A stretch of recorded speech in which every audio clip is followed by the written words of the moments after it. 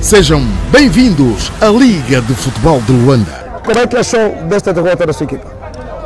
Olha, é, resultado podia ter sido empate, mas ainda assim valorizar o adversário também que esteve à altura da encomenda.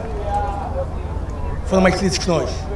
Foi um jogo disputadíssimo do princípio ao fim, onde a equipa de elite foi feliz no último lance e ditou o resultado final. Ajusta-se. Bom jogo. Então, parabéns.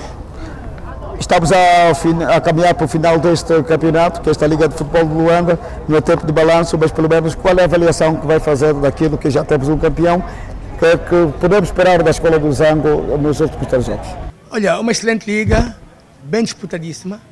Eh, As equipas têm nível de equiparado. Eh, já foi encontrada com, ante- com antecipação de quatro jornadas o campeão, meritosamente. Creio que a Escola do Zango está a fazer o seu campeonato a seu nível e vamos fazer eh, ainda um brilharete nos últimos seis jogos. Creio que nós estivemos bem ao longo do campeonato, então devemos nos sentir felizes e irmos já preparando para a próxima competição.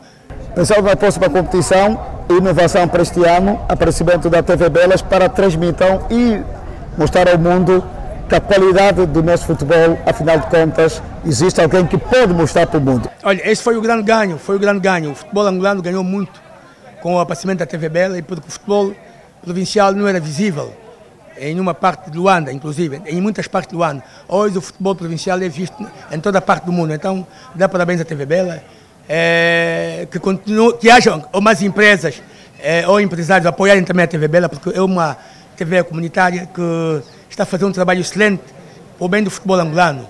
Eh, sem desprimor para as demais províncias, é que o futebol é visto em Luanda.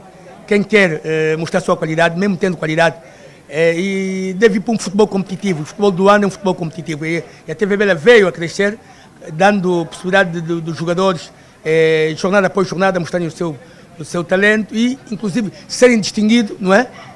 Jornada após jornada. Então, parabéns à TV Bela, parabéns ao futebol eh, de Luanda, parabéns a toda a equipa de trabalho, a vossa direção e vocês repórteres e comentaristas. TV Belas. Juntos criamos a nossa história.